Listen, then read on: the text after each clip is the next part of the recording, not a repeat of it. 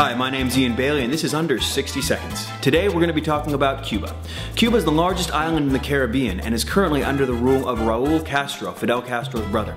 Havana is its largest city and it's 90 miles away from the United States and has been under embargo for the past 60 years. Now, Christopher Columbus was the first European to find this in 1492, and it was part of Spain until 1898 until the Rough Riders came along and liberated it, the United States Army with Teddy Roosevelt, in 1892. Now, it was given its independence in 1902.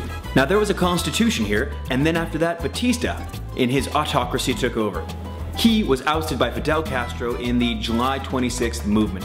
Cuba has 11 million people in it and has a 99% literacy rate and people live to the age of 78 years old on average. So I hope you've enjoyed this little segment on Cuba. If you'd like to participate or check out one of my projects, please check out the link below. My name's Ian Bailey. Thanks for checking in and have a prosperous day.